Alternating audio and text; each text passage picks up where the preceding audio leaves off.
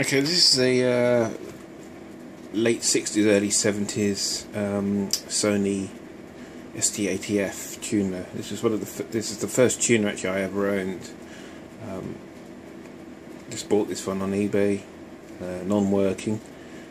They're a lovely, um, lovely tuner. They, from what I remember, they had a nice sound. They had quite a sort of smooth, warm sound, um, and apparently a lot of people say they're quite sensitive. I can't, I can't really confirm that because I had no no other tuner to compare it to.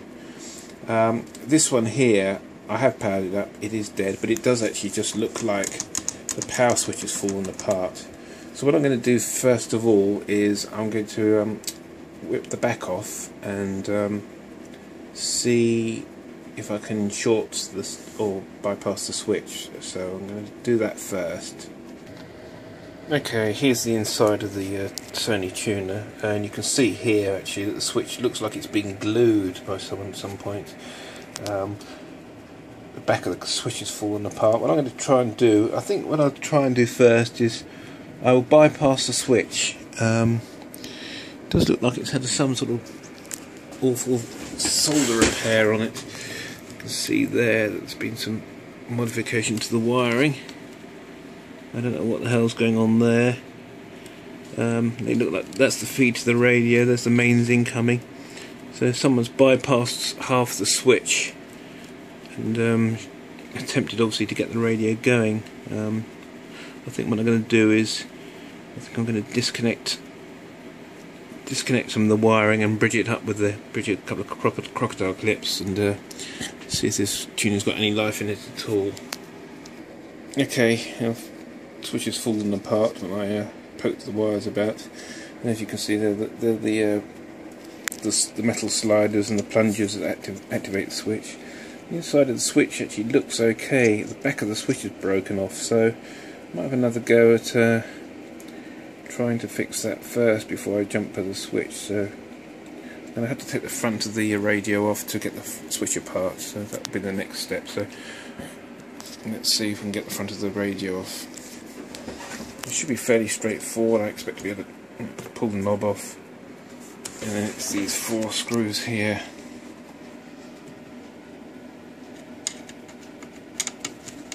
There are signs that it's possibly been apart before. Someone's obviously had a go at fixing it before.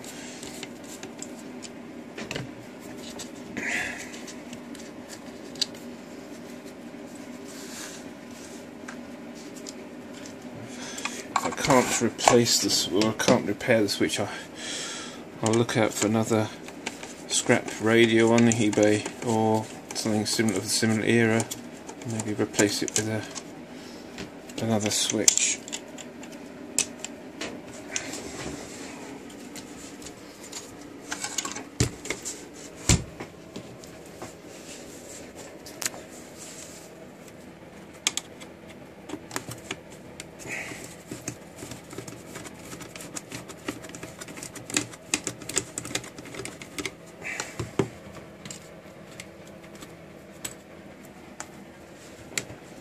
The last screw.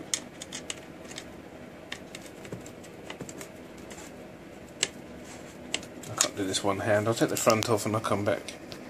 Okay, that's the front of the switch off, so that has to go back on there. So I've got to find a way of sticking that back on there and getting it to hold together. See the front of the radio's off. The meter's exposed. All the all the cover to the meters um, are on the front panel. You can also see that obviously there's a little bit of heat damage. There's a, there's a bulb in the centre there, and that's obviously discoloured the, uh, the, the perspex slightly. I'm going to give that a clean up. That should that should clean up fine. Um, so let's have a go at that. Okay, this I've sort of got the switch back together again. Uh, the side of the case has, has broken out. The side of the switch as well. I don't you can see it's behind that capacitor. Got the cable tie there, obviously, because the lugs are broken off the back of the of the switch. Um, but it works. So, what I think I'm going to do is going to try and pop it back into the front of the set there and power it up, see what happens. Okay, the switch is back in place. That's good. That seems to be nice. Uh, I'll try that in a minute. I've noticed actually that both the bulbs are missing from the set, so I don't know why someone's taken them out. Um, I'm going to have a go at cleaning up the uh, perspex with this Autoglym. Other products are available. Uh, super resin polish. I'm going to give that a quick wipe over and hopefully get that, that sort of glaze off. So give that a go. Um, see if I can find some bulbs. Though I don't think I've got anything. I should think they're probably 12 volts. And uh, and then we'll power the setup. Probably power the setup actually without the front on it, just to see see if the thing actually works. The bulb's been pinched. I'm starting to wonder if anything else has been scavenged from this set. So I'll give this a clean up, and then we'll uh, power the setup. Okay, I cleaned the front up. That's got that mark off the glass or the perspex. That's good. So we're plugged into the isolation transformer. Let's enable the power and see what happens. I suppose we'll know or not really, because if they've taken the uh, bulbs out, I won't be able to tell if it's working or not. So I think the thing to do um, is to plug it into the uh, amplifier and see if we've got any audio. That, see if we've got any signs of anything at all. So bear with me whilst I find the amplifier on.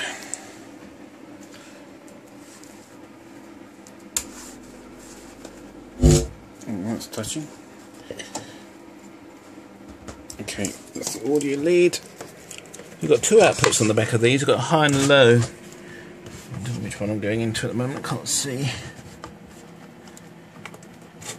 Okay, that's connected. Oh, straight away. Straight away it works. Excellent. And that's not, there's no aerial connected either. Ah, works. Oh, that's a good result. Channel a moment. So he switches AFC, it's mono, it's AFC off. Okay, why have only got one channel? Is that the amplifier?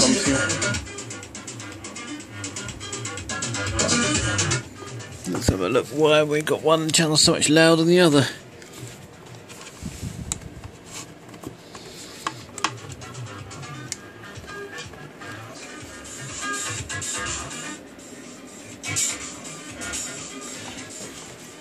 Strange. Let's try the other try the other um, socket. Is the amplifier low level? Oh,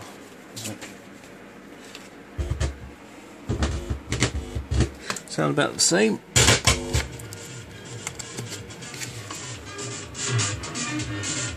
Yeah, okay, the audio's low on one channel.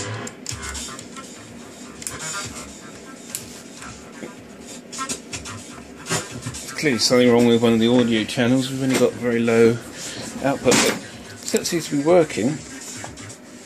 Let's try AM actually. Um, okay. Right, AM levels are balanced. It's the same both sides. Media, in the electronic media. At uh, 9 o'clock, it's um, concussion. Uh, okay, so let's go back to FM again. Probably a dodgy switch actually. Let's get the front on it and uh, see how we go from there.